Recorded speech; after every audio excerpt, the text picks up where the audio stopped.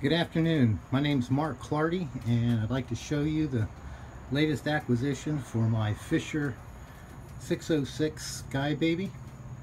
Uh, that plane originally had a VW in it and although I've been working on a 440 Kawasaki I'd rather go back with the original and the sound is so much sweeter.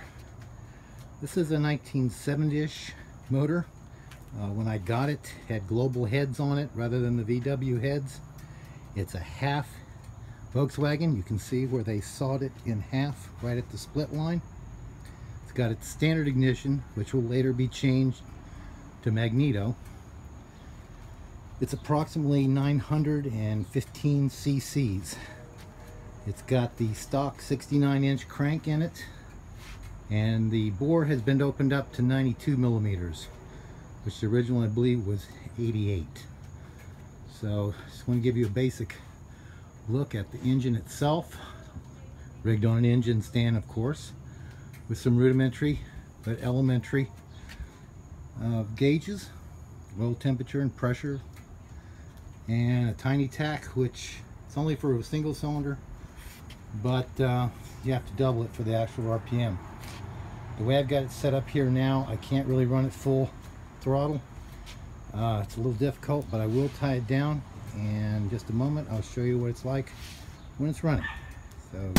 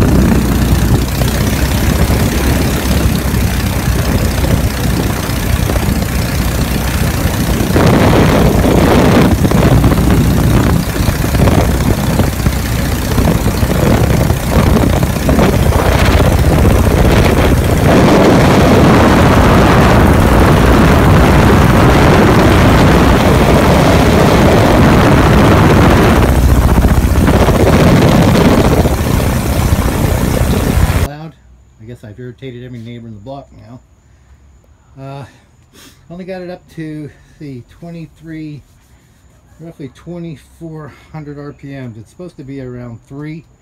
A lot of reasons that could happen. Poor gas. Uh, this is relatively old gas. And I haven't tweaked the carburetor or anything else. So the original owner that had it, uh, he used to fly at 3000. So there's no reason why this wouldn't either. It's got the same prop on it. Incidentally, this is a 54 by 22 pitch prop, which is wood, of course, which is, you have to run these with Volkswagen because they've got a relatively weak crank. As you can see, the seal is JB welded on because there is no seal for this in a regular Volkswagen. So that's a modification I'm probably going to look into making, along with an external oil filter. Interesting to note, these engines, as designed, never had an oil filter until the late 70s when they production took over in Mexico. so they, when they say change oil every 2,000 miles, you had to be religious with this engine. So with an oil filter on here, I think we should have no problem maintaining a long, healthy life for this engine. So that's about it for now. Uh, when I have something else, I'll send it. So thanks a lot and have a great day.